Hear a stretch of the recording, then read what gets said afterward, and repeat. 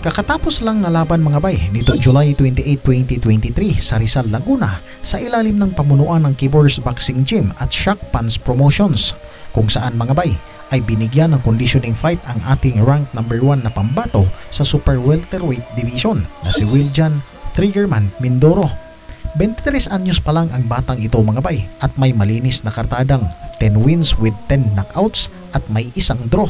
Sa labang ito mga bay ay isang Japanese fighter ang inimbitahan para lumaban at ito ay si Mao Tameda na may kartada namang 3 wins, 14 losses at 2 draws. Ito na ang pinakamatangkad na nakalaban ni Mindoro mga bay sapagkat walang ibang Pinoy fighters ang pwedeng itapat sa tangkad at dibisyon ni Wiljon.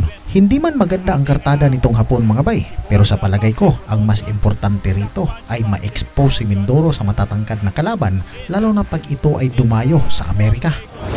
Umpisa na ng laban mga bay schedule for 10 rounds at nagpakita nga agad ng pagka-agresibo itong hapon. Hindi ito dumayo para lang magpatalo mga bay, kundi layunin din itong makakuha ng isang upset win.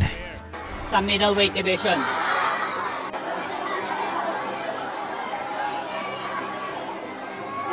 Nice 1-2 by Mindoro.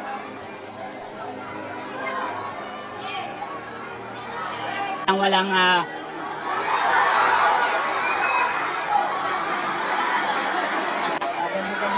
Nice body by Mindoro.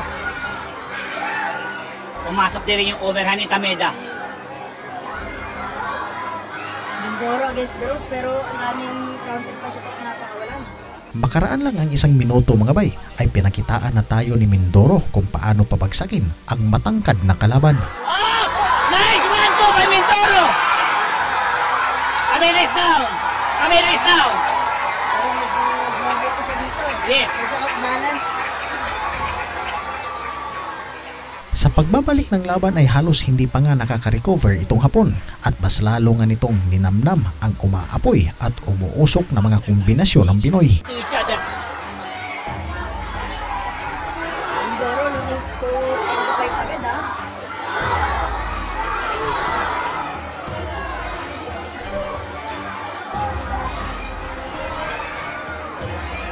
Ah, nice body by Mindoro. Follow by uppercut.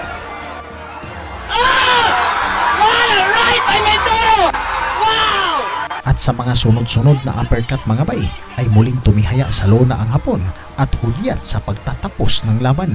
Nananatiling undefeated pa rin si Wiljon Mindoro. Bit-bit ang bagong record na 11 wins with 11 knockouts at may isang draw.